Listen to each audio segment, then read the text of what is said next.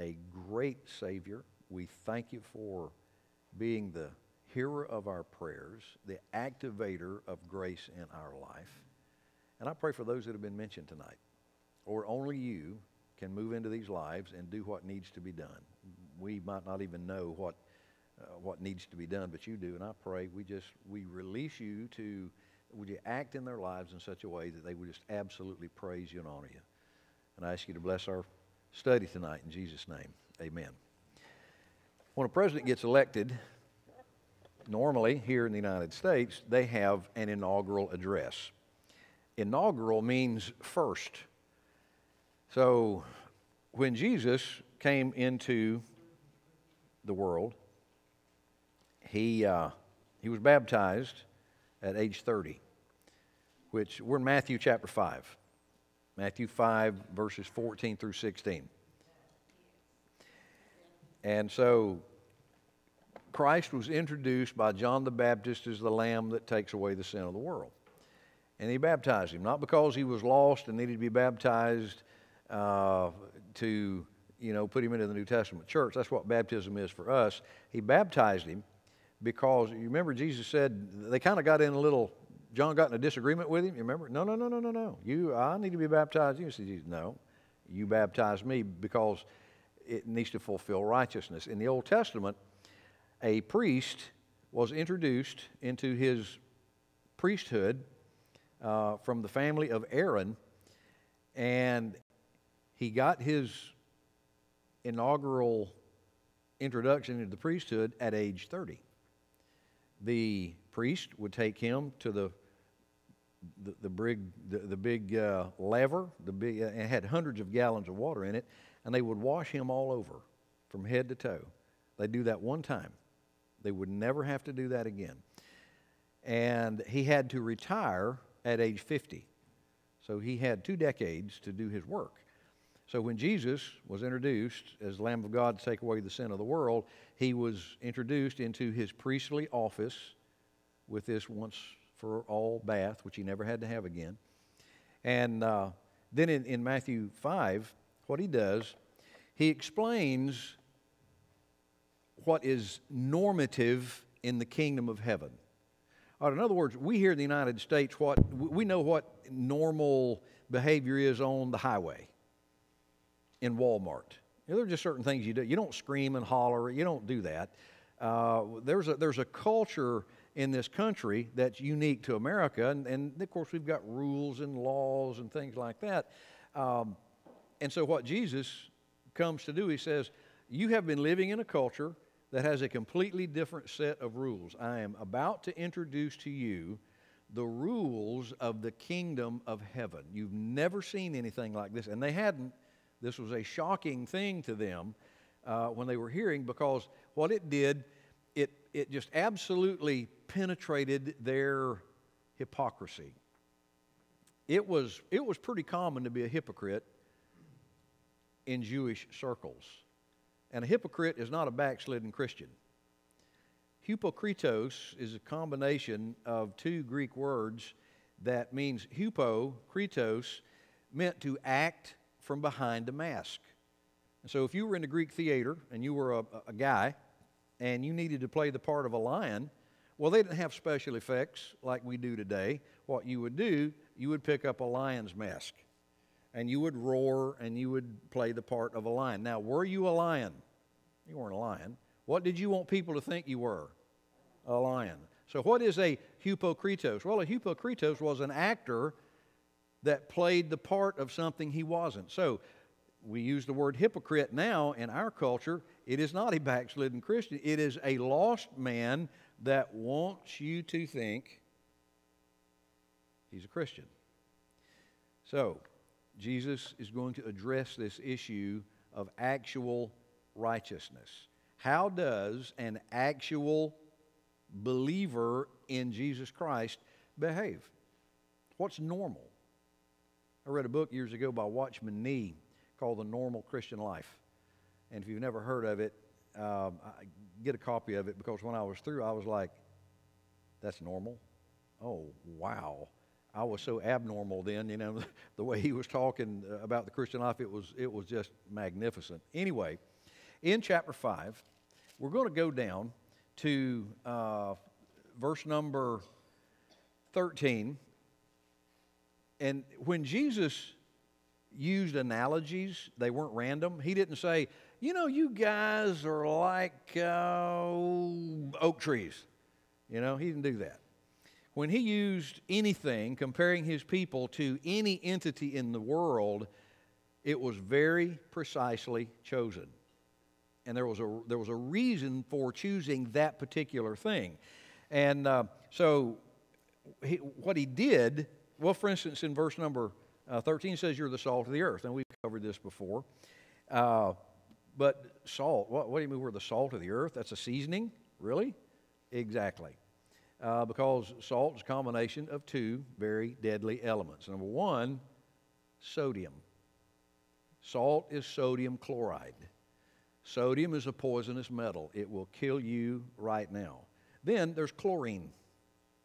Chlorine is a poisonous gas. If a train has a wreck that's carrying uh, chlorine tanks, and that, that green cloud, man, everybody gets out of Dodge because that stuff is deadly. But you can take two deadly things, sodium and chlorine, and combine them chemically and sprinkle them on your eggs.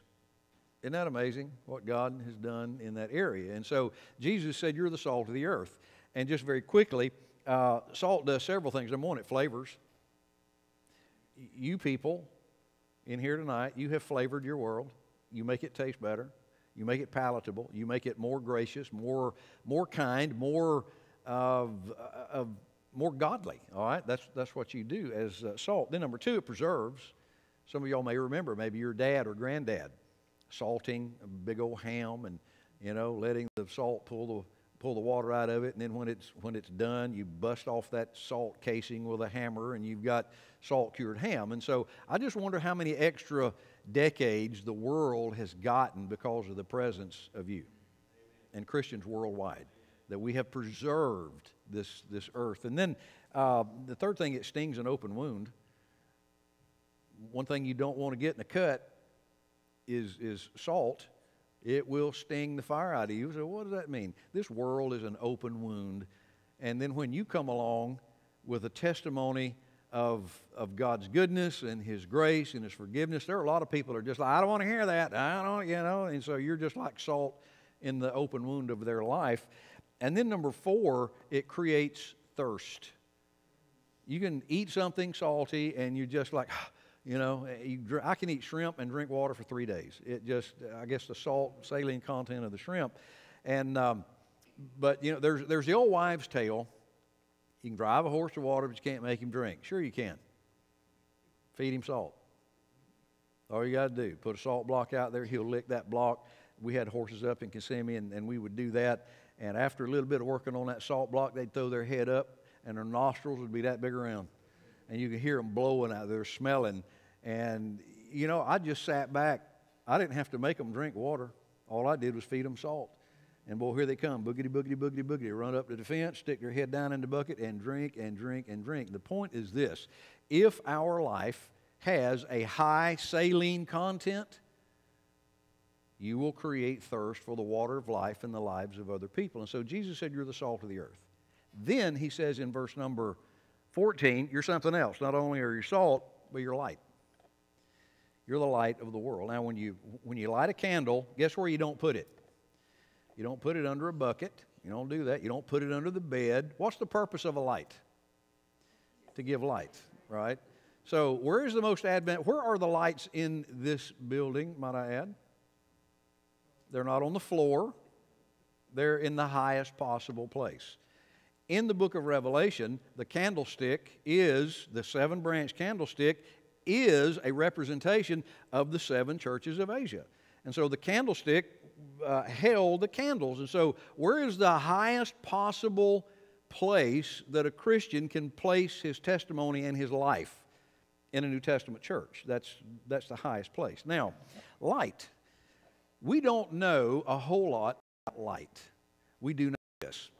We do know that light is part of what is known as the electromagnetic spectrum. The electromagnetic spectrum is a line. It's kind of like taking a water hose. You've ever done this to a water hose and it just waves like that? Um, all energy, all light and sound is part, and, and waves, those things are part of an electromagnetic spectrum that part of it can be seen, most of it cannot. Part of it can be heard, most of it cannot. Um, for instance, the human eye can detect a very small portion of this great big long line of energy. We can hear very little. Animals can hear what we can't hear. Animals can see what we can't see. I mean, they, uh, they have a much broader range of, of contact on this thing. For instance, the human eye can see on this, on this big wave from 400 nanometers to 700 nanometers. Now, that is not very much.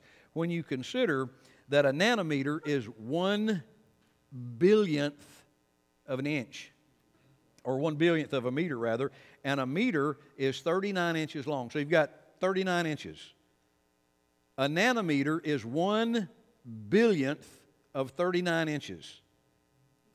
All right, so we can, we can hear, or rather see, from 400 of these nanometers out to 700 of these nanometers on a, a 39 inch scale. Uh, 700 is toward the red end. So, anybody got anything red on tonight? Uh, Lyle's got a red shirt on, and so your shirt is, is vibrating at about 700 nanometers. On the other end, the 400 nanometer end of this scale is um, violet, your sweater is, is more violet. And so y'all are on opposite ends of the electromagnetic spectrum, and then we've got everything in between. You got your yellows and your blues and all that kind of stuff.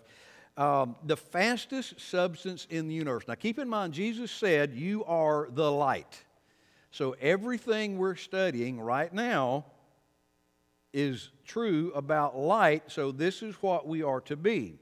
And uh, the fastest uni- the thing in the universe that we know anything about is light. The vacuum speed of light. Light travels in a vacuum, and outer space is practically a perfect vacuum. Now, let me give you some figures that you will not understand because I don't understand them, but here they are. Light travels at 299 million, 792,458 meters per second. All right? Now, let's break that down. That translates to 186,822 miles per second. That translates down to 671 million miles an hour. That's pretty quick. Now, I'm glad that light doesn't move like we do. Could you imagine turning your flashlight on and light coming out just kind of like hard butter, you know. It, it's coming. It, you know, you got your flash. It's coming. It comes. it's, it's like boom. You turn it on, and, and it is there. Now, uh, light from the moon, for instance, which is what, 87,000 miles away?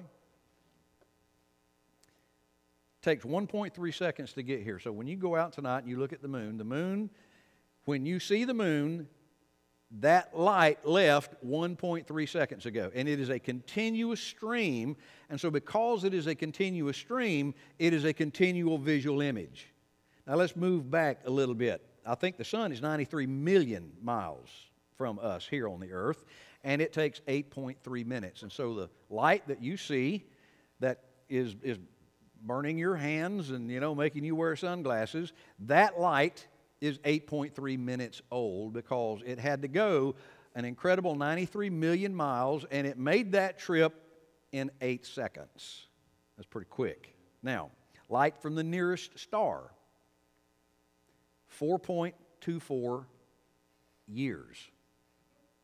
Okay, now here's what we've got to do 471 million miles in a second, or, or an hour rather, 471 million miles an hour.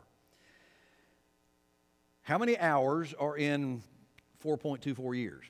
I don't know. But here's what you do you multiply 471 million miles an hour times 4.24 years, and that tells you how far that light has traveled.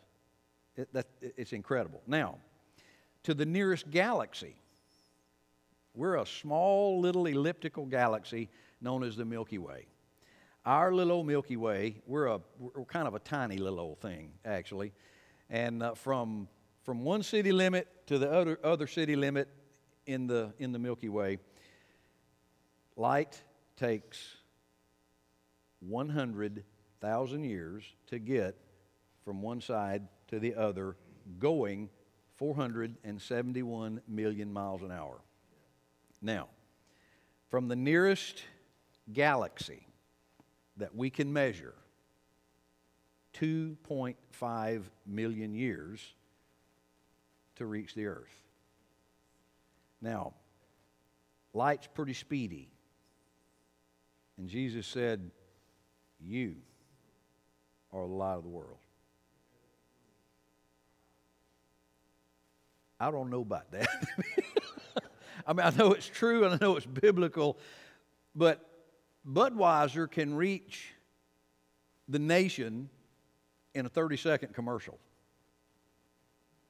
How long does it take us to walk across the street and talk to our neighbor? You know, if, if we're the light of the world. Light has what's called dual specificity. We finally figured this out. There was a time when, when scientists did not believe this. In other words, people used to say, well, it's just a, it's a continual wave. And then there were scientists that said, no, no, it's particles. It's like a bunch of little BBs. Well, they finally figured out it's actually both. It is a continuous wave of BBs. And these little BBs are called photons. And a photon is the smallest unit of light that we know anything about right now. And the, the New Testament, in other words, this light right here is a wave coming down, striking our eyes, but it's, it's little BBs.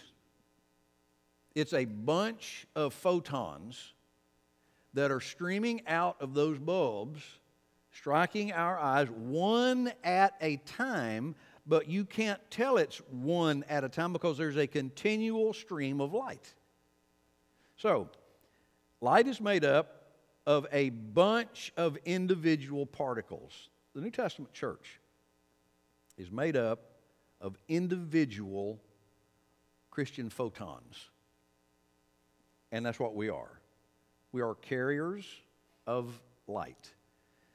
Uh, I'm, I'm talking about each individual, not just talking about the corporate unit of the church. You individually carry this responsibility of being a Christian photon to, uh, to the community and, and to your circle of friends, your circle of, of influence.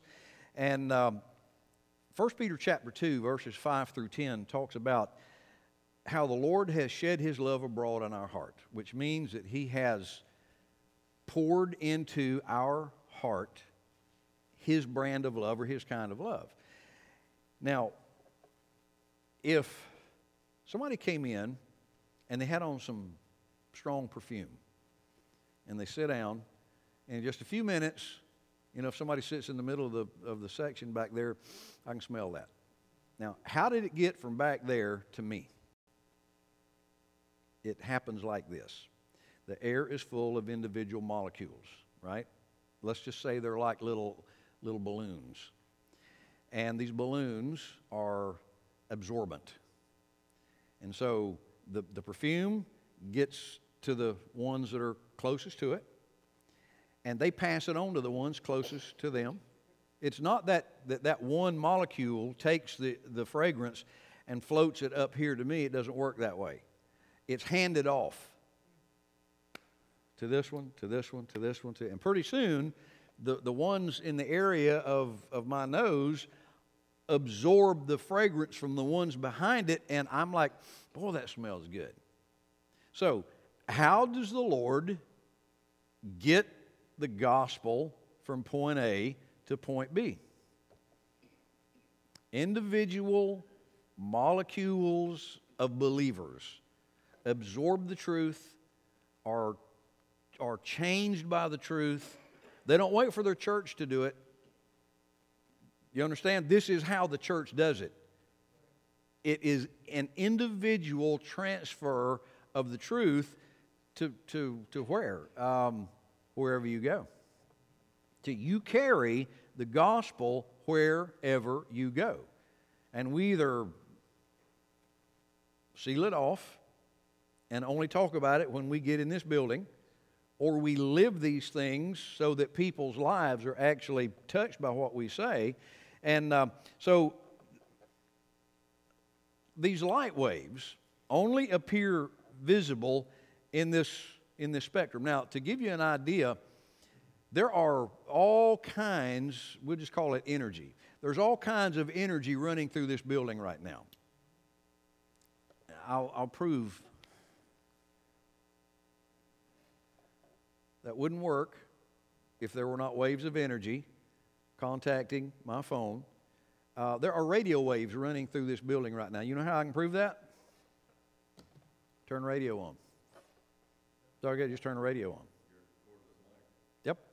Something's going on between, you can't see it, you can't taste it, but it's, it, it apparently is working. And uh, so these, um, these waves, television waves, are running through this building right now. You know how we know that to be true? There are people home watching TV. Exactly. exactly right. Yeah, that's exactly right. Um, so we can we can find a device that will translate these waves into something visible and audible.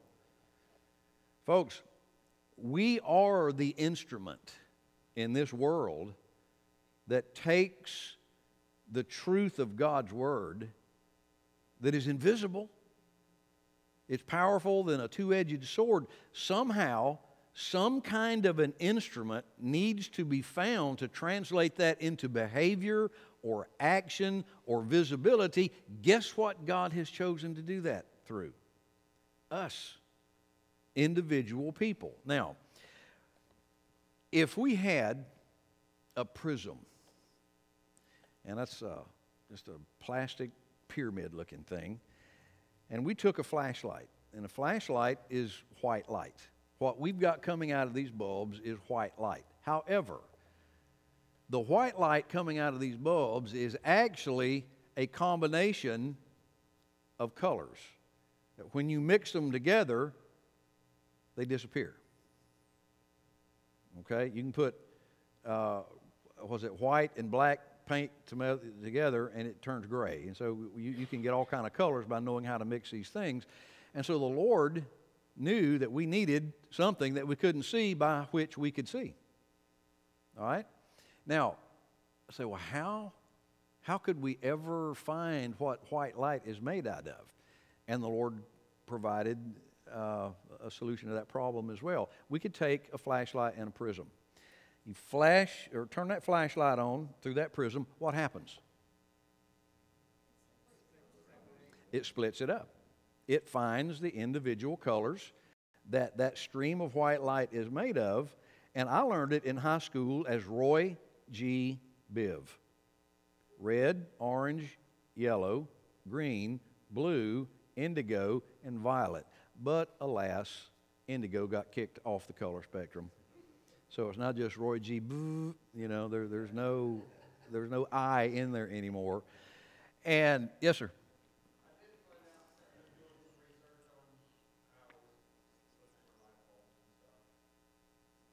The difference in the color of light that comes out of each light is determined by the temperature? Okay. Uh, now, Jesus said, You are the light of the world. Okay, we are not the source of light. He did not say that. We're the prism.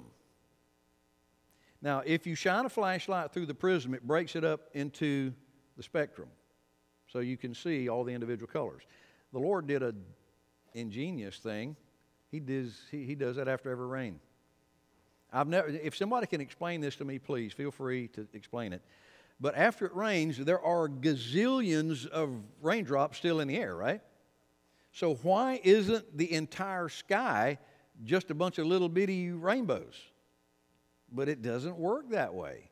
The Lord has designed it so it's a perfectly orderly bow of these colors, even in the, the exact order. And so here we are. We're the prisms. The Lord shines the light of the truth through us. And guess what our responsibility is? To split the truth of who God is up so that people can see who God is. Jesus said it let your light so shine that others may see your good works and glorify your Father which is in heaven. And the word glorify means to form a proper opinion. And so I am to so allow the truth of God's word to shine through me when it breaks it up and people can see how kind and gracious or wise or, or all the, the things that God is can be seen through our lives, then the world looks at us and says, Oh, that's, oh, God's that good. God's that forgiving. God's this kind. God's that wise. God, and so we're the prisms. Now, light does five things when it strikes an object because not everything is a prism. But uh, the first thing that light does, it passes through. It just goes right through. Piece of clear glass. It just go right through. Uh, the material is transparent. It's clear. It's free of obstructions and it allows the, the light to pass through in its totality. This is the believer whose life is clean before God. That nothing stops it. Nothing breaks it up. Nothing obscures it. The second thing that happens waves, light waves, can be reflected off of an object. For instance, light is being reflected off the pages of my Bible. It's being reflected off my arms, off the bench. It's being reflected. So everything you see, light is bouncing off of it. As a matter of fact, uh, let's see. What color is this knot? You're exactly right. It's not black, it's every color but black. Now, what happens is light hits this and absorbs every color except black. Black is bounced off, and you see black. And so, black is the only color this is not. And so, uh, you know, not you don't have to absorb the light of the gospel. Dale, you ever talked to anybody that just bounced off of them? They weren't interested. I don't know. Look, I I'm not interested in that. Don't talk to me about that. And so there are some objects that it just bounces off of and they have no interest in the gospel whatsoever. Number three, waves can be scattered off of an object. Um, reflection can just bounce off. A piece of bent metal, pee, it's just going everywhere like uh, ping pong balls. And uh, James tells us about the double minded man that's unstable in all of his ways. It's just, uh, there's, uh, there's no consistency there's no pattern. There's, he just, this is just an unfaithful believer. You never know what's going to happen in, in this guy's life. Uh, but one thing you do know, it, there's not going to be any faithfulness in this guy's individual life. Now, you remember uh, Paul had to confront Peter? Why did he have to confront Peter? just inconsistent. The light was just bouncing everywhere. And Paul said, you know, I had to, I had to confront the great apostle Peter. And the reason I had to do it, when he was hanging out with the Gentiles, he was all about the Gentiles. Then when the Jews came to town, he was like, oh, gotta go, gotta go, gotta go. And then he'd run over here and he'd, he'd buddy up with the Jews and treat the Gentiles like they were dogs. Paul heard about it and he said, I confronted him face to face with that inconsistent testimony.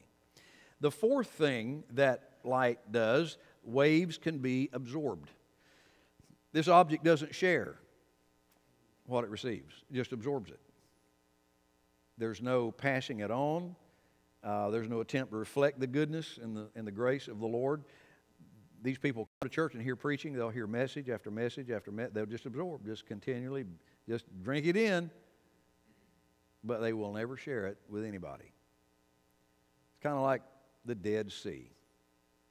You know, you've got you got the Sea of Galilee up north in Israel, and you, then you've got the Jordan River, which is like a snake's back, and then you have the Dead Sea. And the reason that they call it the Dead Sea is because it is dead. Nothing lives, and the fish that are washed down from the Jordan River into the Dead Sea die within about six to eight minutes. There is no oxygen content in the Dead Sea, and they suffocate to death. The Dead Sea has the highest solid content of any body of water in the world. The content, the solid content of the Sea of, uh, or the Dead Sea is 30%. The average is about six of the world's oceans, which means it's basically liquid solid. You can get in the Dead Sea and float. You can't, it'd be hard to drown in the Dead Sea. Uh, and so you get in and you look like one of the little California sea otters. You're just bobbing up and down because of the, uh, of the salinity content in that thing. And so it, it doesn't, the reason that it is dead, it doesn't, there are no outlets. There's no river leading out of the Dead Sea. The only way that the Dead Sea doesn't just overflow is because of evaporation. And evaporation takes all the water out, leaves the minerals, and it just gets saltier and saltier and saltier. As a matter of fact, the, uh, the Dead Sea has salt works built in it by the Jewish state, and it is a, well, it is the most valuable piece of water in the world. Keith gets potash from the Dead Sea. They buy potash from over there. And it is just, it's a bank. And, and they are making millions, millions of dollars uh, not Keith and them, but uh, the Jewish government and the folks that own those salt works. And so you know the truth. And there are folks that just want to know more truth. They want to read more books. They want to listen to more Christian radio. Nothing wrong with that. You need that. But there needs to be an outlet. Okay? We can't just continually take in all of this information. And uh, then the, the fifth thing that is unusual about light light can be refracted or bent. This object allows light to come in, but it goes out differently than when it entered. Have you ever taken a stick or something and stuck it down in water? Or your glass, you take your straw and put it down, and it goes in here, and really? That was an illustration to show you that there are waves going on in this room. So, and so that, that's called the law of refraction. All right? And here's the application to that. Not everybody that receives the truth gives it out straight there's a perversion of the Word of God in our culture. You know, they hear the truth, but when I've heard preachers that did not preach the truth. Now they read the same book that I, you know, they've got a King James Version Bible. But when they preach it, how can you take the Bible and preach that Jesus is not the Son of God? How can you do that? How can you preach that Jesus was an angel. Where do you get that? He was Michael the archangel. I, mean, that here, here's the truth, and here's the way it's coming out. That's called refraction or bending the truth. There's a lot of that going on in, in culture. And so, now again, what did Jesus say? You are the light of the world. You're not the source of light, but you are the prismatic character through which the character of God is made visible. And the only way that light can be made visible is shining it through a prism. God has chosen, I don't know why, but God has chosen to limit himself to the use of human instrumentality. People can be as useful as they want to be. People can be as powerful in the hands of the Lord as they want to be. But then you can also just shut yourself off. You can you can hear the truth and just keep building up all this and memorize scripture and all this stuff and and there's no outlet to it. Now, there are there are three laws governing light, three that we know of. And the uh, well, before we get into that, y'all know what lightning bugs are. Everybody in here, I, I love lightning bugs. And when I was a kid, we used to catch them, and we'd pop them, and we'd rub that stuff, and we'd play outside, and you could you could see, you know, this stuff stinks to high heaven, but we'd, we'd play with that stuff rubbed all over our face. Um, did you know that in the rear end of a lightning bug, in the caboose of a lightning bug, that little feller has a mixer. And that mixer mixes two chemicals. And when he mixes them, they glow. You know what the names of those chemicals are? Number one, there's a chemical called luciferase. And the second one is luciferin. Who is the angel of light? Satan, exactly. Now, don't think that when we talk about Satan that he is this grotesquely ugly ogre with blood dripping from his fangs. That is not Satan at all. Yeah. If, exactly. If he walked in here physically tonight, you'd want to meet him. Hey, how you, man? Glad to have you. There would be absolutely no fear, no shock, because he hides behind truth. So don't be surprised when Satan is deeply involved in religious activity. He is an angel posing as light. And one of the, I, I just think it's a, a neat illustration is these two chemicals that mix together and boom, all of a sudden you can, you can see these things. And, um, but light is very obedient. Everything God has made functions by law. I am so glad of that. Aren't you glad that gravity is consistent? I'm glad that the laws of thermodynamics are consistent. Aren't you glad that the laws concerning um, uh, rain? How about the sun? The sun appears over here every morning. I'm glad I don't have to guess. Maybe we're going to have a southern sunrise, so we, we don't know. Uh, you know, we're 93 million miles from the sun. I'm glad it stays at 93 million miles. I'm glad that it doesn't, you know, move a little closer, just see what's going on. I'm glad it doesn't do that because it'd, burn everything to a crisp.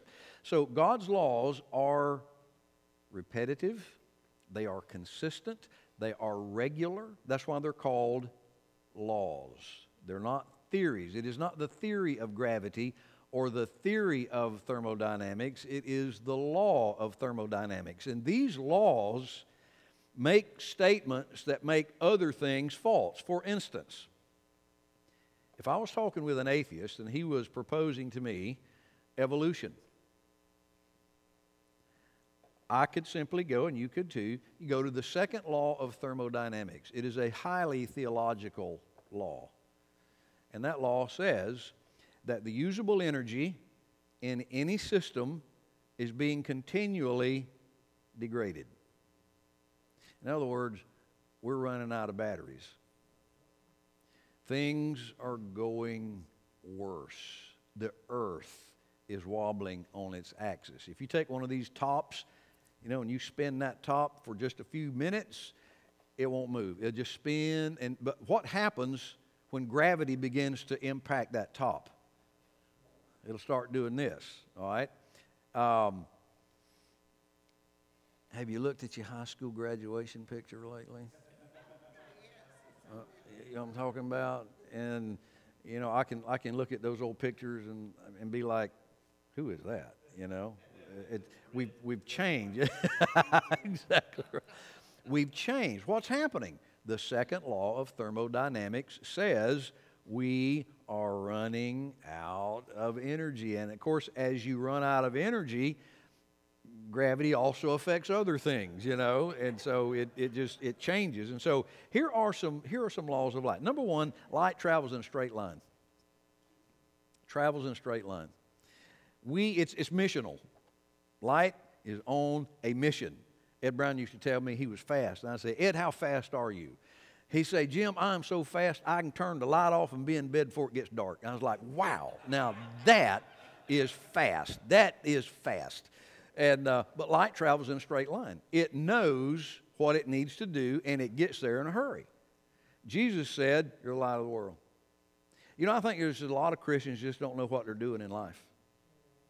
They're just, they're just kind of meandering, you know. They're living life, they're having fun, uh, make a little money, and, you know, they just, but, but as far as being on a mission, so what if, what if you turned your flashlight on or your lights and the light just started It'll, it'll get to you after a while, you know, but it's kind of like, uh, y'all remember Tim Conway on the Carol Burnett show? How the old man, you know, he'd shuffle. And, and I saw him one, I laughed. He fell down the steps. Yes. The old man, the old man, and he, it was slow motion. He fell down, and, and Harvey Korman and Carol Burnett were at the bottom of the stairs, and they could not stand it. Harvey Korman was just chewing a hole in the side of his mouth. And that, that reminded Jesus said, You're the light of the world. All right, we'll be there after a while, you know, and it just takes us forever to get somewhere with the gospel, all right? Travels in a straight line, it doesn't exist randomly. Number two, the further you are from the source of the light, the dimmer that light gets. The source is Christ. The further you are from Him, the dimmer that becomes. Um, stay, stay close to the source. That um, you have, a, I got a watch that's got these little dots on it and things on the uh, on the hands, and it's phosphorescent. Is that the term? Yeah, and I can take my flashlight. Yeah, fluorescent. Yeah, fluorescent. And I can shine it on that watch for a few seconds and then turn it off. I can tell what time it is. It'd be dark as a tomb, but I can tell what time it is. Now, it doesn't last long. It's got to constantly be regenerated. You can't do it one time and it lasts. You, being Christian, I think it is important that you be in this assembly as often as you can. Now, no, we can't be here every time. I'm not unreasonable enough to think that you need to drag in here sick and coughing. Uh, you know, there are times you just need to go on vacation. You need to do that. I'm aware of that. Everybody in here, and and I've, I've talked with preachers before, and, and they're bragging, "Well, I ain't had a I ain't had a vacation in 18 years," and I'm thinking, "Well, you've been an idiot for 18 years." You really have. You need some time away. And if and your wife does, you know. And so y'all here, y'all need to go somewhere and, and just relax and, you know, recharge. You need to do that. But um, stay in God's will. Everybody has a purpose. And your decision is not your decision, it is your discovery. Your purpose is not your decision. Well, what do I want to be? What, what, you know, what do I want to be in life? That's not your decision. That's already been decided. See, God knows why He put you here. And there is an assignment to your life. When you get saved, there is a purpose for your life. My purpose then is to discover, Lord, what do you want me to be? And so, you know, don't ask a kid, what do you want to be when you grow up? The wrong question to ask. The right question to ask is, what does God want you to be? And then you guide them toward the, uh, the purpose that, that God has designed for their life. And so, the further you are from the source of light, I, I read uh, an illustration one time. There was a, an old man that just had just quit going to church. And the pastors of the churches had gone by to see him and they'd get on to him and, you know, just uh, nag him. And, and he just, just wouldn't listen to them. New pastor comes to town and they called a new guy. and he makes his obligatory visit, you know, to this old gentleman's home that, that just quit coming to church years ago. And it was, it was in the wintertime and it was cold. And he knocks on the door, and the old man invites him in, and got the fireplace going, and the fire is just roaring, and it's warm, and the coals are glowing hot, and the preacher just sits down and never says a word. And he takes one of the fireplace pokers and he reaches in the fire and he drags out one of those coals out onto the hearth and puts the poker down and just sits back and never says a word. And they sit there and the preacher watches that coal as it gets colder and colder and pretty soon it's black. And the old man looked at him and he said, I'll see you Sunday. that you need to stay close to the source. There's nothing magic about being here. This is a building. That's all this is. This is not the house of God. Don't call this building the house of God. That is an Old Testament phrase that was true of the tabernacle. It is not true of this building. You know where the house of God is? You are the temple. You are where the Lord dwells and lives. And so, number two, the further you are from the source of light, the dimmer the light gets. Number three, the angle of incidence is equal to the angle of refraction. In other words, I'll give you an illustration. I, I, illustrations make things simple for me, so excuse me if, if I use a bunch, but it helps me understand because there's a lot of stuff that's hard for me. I played baseball at Winter Haven High School, and I played shortstop. And I always had trouble when a throw was coming in from the outfield pretty fast. If it bounced in front of me, you know, you just you turn your head and, and just hope. You know, you just hope it hit something, and usually it did. Uh, and I had a coach uh, named Ed or, or uh, Whitney. He was Brother Whitney's cousin or uh, uh, anyway, was kin to Ed Whitney over at Westwood. Best baseball coach I ever had. And he got us infielders one eh, together one time and he said, Guys, let me let me help you with something here.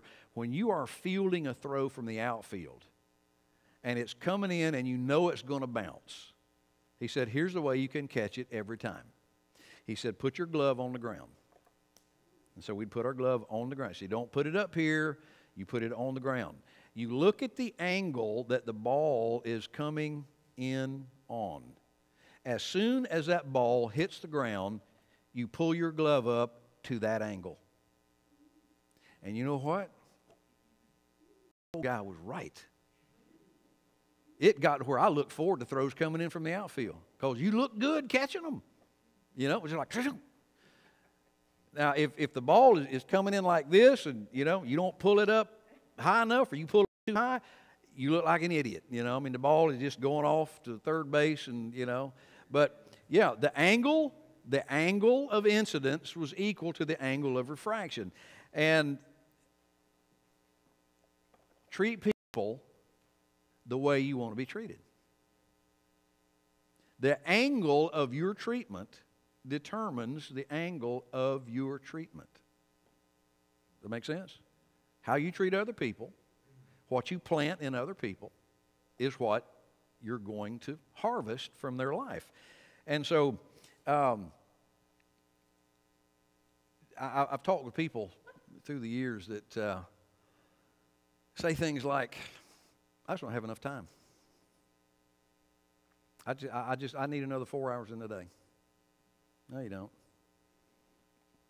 I hear people say, I, have read books and I've, I've seen time management seminars. You, you ever seen those? You know, you don't manage time. What do you manage? You. You man, yeah. I don't care what you do to time. You got 24 hours. I need to manage me because I can I can waste time. Have You ever wasted any time? And once it's gone, it's gone, right? And so if if I need something in my life, that's the thing I need to plant. I just wish people were kinder to me. Really. I just wish people were more patient with me. Hmm. Can I give you a suggestion?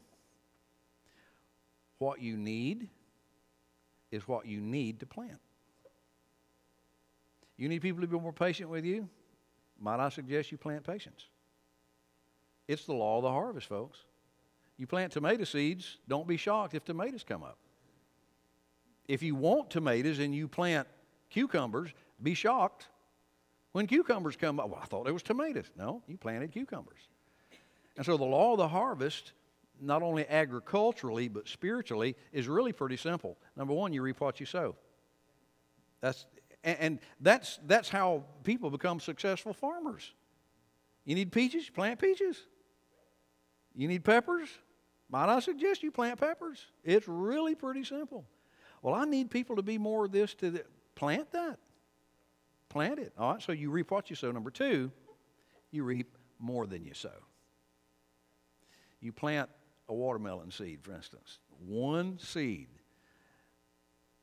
You're going to get one vine. How many watermelons will be on that one vine?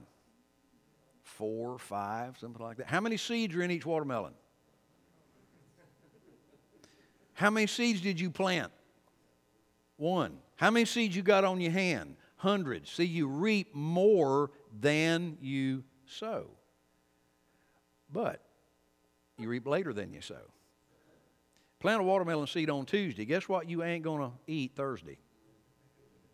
Not, not watermelon off of that, you know, not off of that one. It's going to take a while. So as we, as we plant kindness, and patience and mercy and love and forgiveness. See, these are, these are seeds that are refracted through our lives because this is what God is. And the moment you need these things in your life, guess what? They'll be there. The Lord will have for you the patience that you've planted, the kindness that you've planted, it, will be there. I'm just telling you. Now, that's not why. You're, not kind to people because you want people to be kind to you. you. We do this because it's the right thing to do. You know, you love people not because you'll get something for it. You love people because God loved you without cause. Without cause. Um, and so, going back, Jesus said, You are the light of the world. And often we read these analogies and we read this stuff and we just run right by it. Yeah, we're the light of the world. Woohoo! You know, and we just run on and, and we don't grasp what is being said. If we're light, there's something to that. We need to investigate light. If, if we're salt, we need to investigate salt and see exactly what he's talking about. And um, so this world needs who you are. And, and you just you don't know how valuable you are. You re- we don't know until we don't have it. If the power went off in the building, you, you well, when we have a hurricane, you can count on it. The, the lights, the power's going to go off, and that which you took for granted, now you, you just wish you had. Oh my goodness, we just I just need some light. And so you go light the candles or, or do whatever you do. And um, so I'm, I'm grateful that God Almighty, the light of the world, the light source of the world, has chosen us. You know, he, he could have called the redwood trees in California to preach the gospel. My, what a voice. What about the Rockies? What if the Rocky Mountains were evangelists? Look at the voice that they could have. What about the Pacific Ocean? What if every molecule of water in the Pacific Ocean was called to preach? Oh, my word. What about the air? What if he called every molecule of oxygen to preach? You think it might be more effective than us? I think probably so. But he didn't. And I think it's marvelously mysterious to me that the only form of life that deliberately rebelled against him in the Garden of Eden is the only form of life that he has called to be the lights of the world. He's given us an opportunity to be what Adam refused to be in the Garden of Eden, but the Lord said, I will restore that. I will offer you an opportunity to be redeemed, to be saved, to be born again. What a privilege it is to be a prism so that the world can see who God is through us. So though when they see our good works, they come to know who the Lord is through everything we do. So you're the light of the world. A city that's set on a hill can't be hid. Neither do men light a candle and put it under a bushel, but on a candlestick, and it giveth light unto all that are in the house. Let your light so shine that men may see your good works and glorify your Father which is in heaven. Yes, ma'am.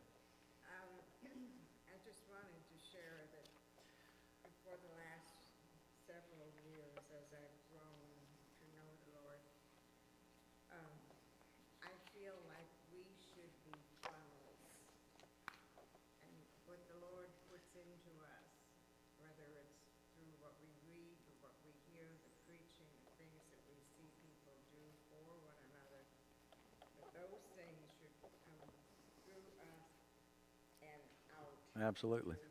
just like we have, like I said, like we have holes. Yep. And the light and the salt and everything, we're funnels. Just funnel that love and that light and. To other people. Good, good illustration. Good illustration. What time is it? Eight o'clock. Thank y'all for being here. I appreciate your presence tonight, and uh, hope you have a wonderful week. See you Sunday morning. Be here at uh, ten o'clock for Sunday school, and then. Uh, Richard's going to be playing at 11 o'clock. Then we've got lunch, uh, soup and salad fundraiser. So hang around and get some of that stuff. I always love this soup and salad thing. And uh, then be back also Sunday night at 6 o'clock. We're going to be in Ezekiel, I think it's 28, if I'm not mistaken, chapter 28. And, uh, well, hadn't this been a journey through the book of Ezekiel? Did y'all know the book of Ezekiel was like that? Man, um, deep graphic is is the word I was looking for. It's just like whoa, whoa. So anyway, um, we'll be in chapter. I think it's twenty-seven. He certainly does. Sometimes he tells it more than like it is, you know, and. Uh, Anyway, all right. God bless you. Thank you so much for being here tonight. Lord, we're grateful for your goodness. Thank you for these great analogies and illustrations that are they're real. They're they are part of the world in which we live. So clear, so graphic, so illustrative, and so convicting. Light gets everywhere quicker than we do. And Lord, we are to be missional in the way we live our lives, intentional in the way we live our lives, not just randomly living until we die, but living on purpose, living to a goal. And that is to reveal the glory of God to our culture. And uh, we're grateful for your goodness. In Christ's name I pray. Amen.